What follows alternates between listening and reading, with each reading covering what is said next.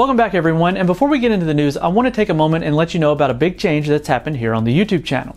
So typically we would post news, reviews, and how-tos guides along with raw gameplay footage here on this channel, and that will no longer be the case. The raw gameplay will be hosted over on its own channel, which will be WCCF Tech Plays. There we will also be performing gaming live streams where we'll take new games as they come out and we'll be able to live stream them and take questions from viewers uh, you know, into company new reviews. So hopefully you guys like the change for there. If you would, I will link down in the pinned comment not only the source for this video, but a link to that channel as well if you're interested in checking it out. Now, let's get back to the news. So, a tech publication on Facebook, IT Cooker, and this of course comes via VideoCardz, has leaked the first testing of an Intel PCIe 4.0 system.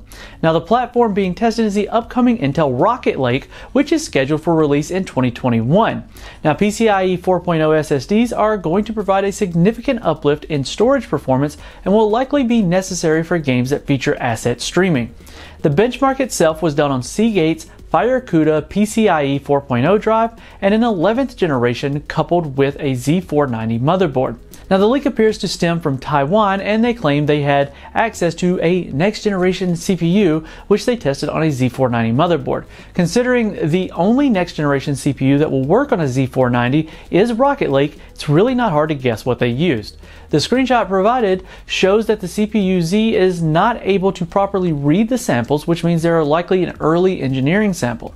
Now, since Rocket Lake S fits just fine in the LGA 1200 socket, customers with a Z490 motherboard will have a clear upgrade path when the SKUs land in 2021. So the Crystal disk mark shown had a read speed of 5 gigabytes per second and a write speed of 4.2 gigabytes per second sequential.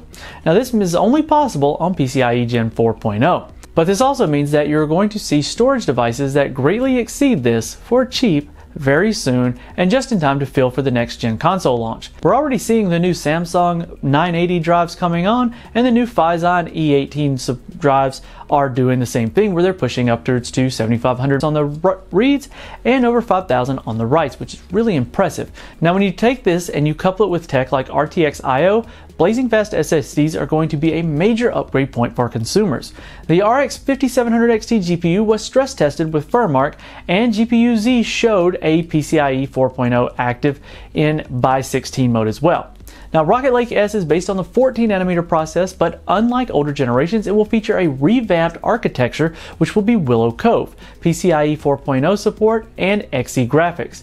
Think of it as a backport of the advanced architecture reserved for 10 nanometer to 14 nanometer so the company can maximize utilizing its foundry capacity. Since it's based on the 14 nanometer process, a leaked benchmark by Geekbench, of course, this is from Rogame, indicates that it will be able to boost upwards to 5 GHz, which is typical for the highly mature process right now, allowing for the best of both world situations where the new architecture is able to hit the ground running, speaking from a clock speed perspective, of course, because of the highly mature node.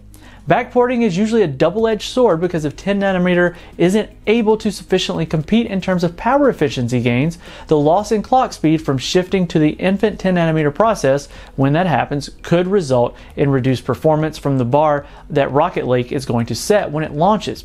Now in the meantime, however, it's great news for enthusiasts because Rocket Lake is going to be the first major new architecture in a very long time coming to the desktop. Early benchmarks of the platform were spotted over at Geekbench, and they are expected to come to market sometime in late 2020 or possibly early 2021. A 5 GHz boost clock combined with a major new architecture should offer the best co- possible combination for a performance upgrade for Intel customers, although at the cost of similar TDP in a very long time. And I'm personally really excited to see how it performs. Now, backporting could also turn out to be Intel's saving grace as it misstepped on 10 nanometer and now again on 7 nanometer. For more on this and other news, follow the link in the description and make sure you're subscribed and hit the notification bell so that we don't miss you in the next one.